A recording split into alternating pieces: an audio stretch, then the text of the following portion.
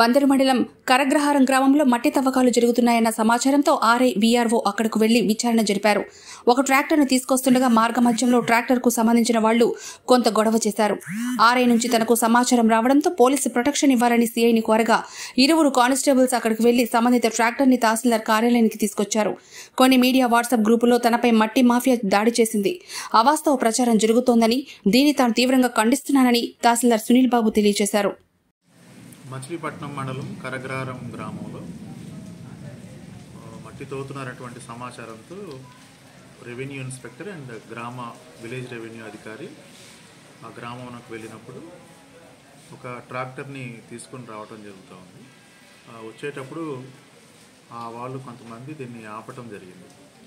నాకు సమాచారం అందించడంతో పోలీస్ ప్రొటెక్షన్ కావాలని చెప్పేసి పోలీసు టౌన్ ఎస్ఐ గారిని చెప్పడంతో ఒక కానిస్టేబుల్స్ని వాళ్ళు పంపించారు.